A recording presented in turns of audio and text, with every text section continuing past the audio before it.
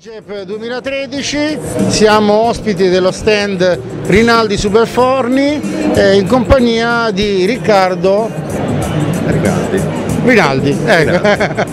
Allora, mh, volevo parlare un po' dell'azienda, come è nata e quali sono state poi, le- qual è stata l'evoluzione nel tempo. Eh, innanzitutto un saluto a tutti, l'azienda è nata come tante aziende italiane nell'immediato dopoguerra, all'epoca mio nonno che era un tecnico ex dipendente della Bosch in Germania rientrando in Italia si era messo a aggiustare scaldabagni e un giorno un amico gli ha detto guarda avrei bisogno me lo fai un forno da pasticceria e mio nonno nel 1946 si mise nel giardino di casa e realizzò il primo superforno della, Diciamo una situazione molto genuina per quegli anni che erano, insomma. Eh, eh sì, estremamente genuina. Da lì poi con eh, mio zio e mio padre, eh, piano piano, hanno messo su un'azienda che dal 46 costruisce forni per eh, panificazione, pizzeria e pasticceria e, oggi siamo noi, io con i miei fratelli Roberto e Renzo, che stiamo cercando tra le mille difficoltà comunque di continuare eh, a No, portare avanti. indubbiamente ti interrompo, la situazione è eh, particolare del nostro paese, però eh, diciamo, i buoni propositi sono quelli che ripagano nel tempo. La situazione più che particolare è, è curiosa, eh, perché siamo un paese che funziona all'incontrario. Io mi occupo anche molto dell'estero e alle volte da italiano tornare a casa è veramente una, una cosa dura, perché vedi proprio un paese che è ancorato a uno schema e a un sistema che oggi non ha più motivo di essere, che oggi non, non può più neanche esistere perché avendo fatto le adesioni all'Europa, alla moneta unica, abbiamo ceduto la sovranità nazionale. E però ancora noi italiani non siamo pronti a questo cambiamento e questa cosa penalizza, penalizza da, da morire. Poi fortunatamente siamo bravi perché la, la creatività, l'inventiva che hanno gli italiani sono caratteristiche che in giro non è che si trovino da Infatti dalla moda alla tecnologia, diciamo, il fatto di saperci distinguere crea anche un- una certa difficoltà ai nostri competitor. Assolutamente sì, ma infatti se noi avessimo i sistemi eh, degli altri paesi per come siamo, obiettivamente non ce ne sarebbe per nessuno. E che facciamo di tutto per complicarci la vita. Allora, intanto dopo aver affrontato anche un tema che, possa, che, che ci coinvolge un po' tutti, parliamo di produzione. Ecco, parliamo dei pezzi forti che la Rinaldi Superforni eh, mette a disposizione dei propri clienti.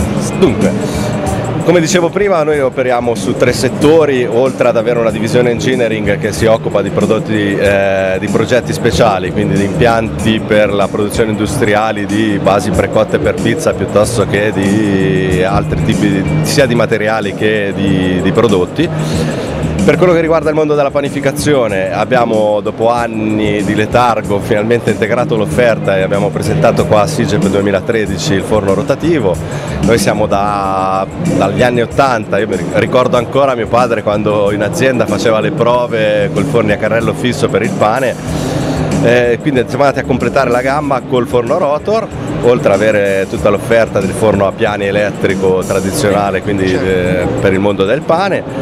Nel mondo pizza abbiamo dal fornetto domestico, che è un progetto bellissimo che abbiamo fatto in collaborazione con un... Anche, anche per casa praticamente. Esatto, no, na- nasce per quello perché ricordo ancora, eh, mi ha chiamato Antonino Esposito che è un maestro pizzaiolo che fa piacere pizza su Alice TV Ah. e mi ha chiamato da eh, Las Vegas Sì, no, perché anch'io sono informato e guardo i canali, i canali Tematici. tematici, sì, ho visto che anche il maestro Esposito ha un- una certa cerchia, una certa È risonanza.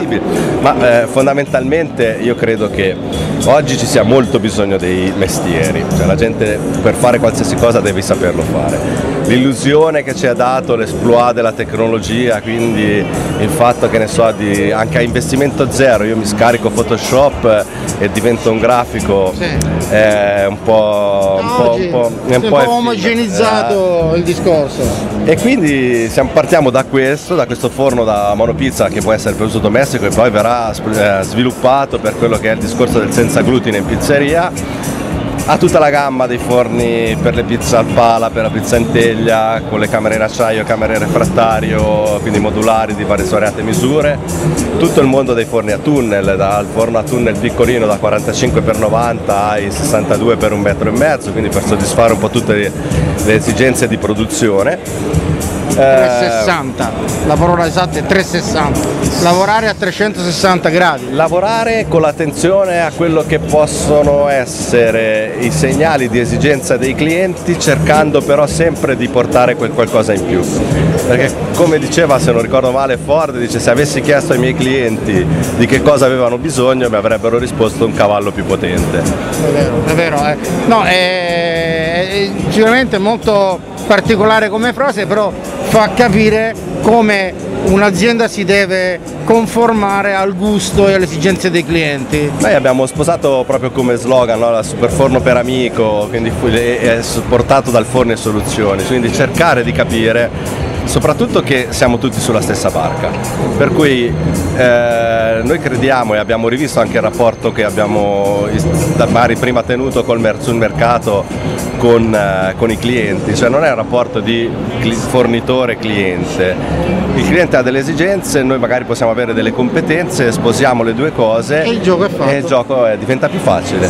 Allora Riccardo intanto io ti ringrazio per l'ospitalità, eh, soprattutto per la spiegazione e, e, e soprattutto anche noi ti facciamo un augurio per mille momenti di soddisfazione e il SIGE pensiamo che sia uno di questi, va bene? Sì, eh, io vi ringrazio, vi ringrazio dell'opportunità, ci rivedremo sicuramente presto, noi carichi di entusiasmo andiamo avanti.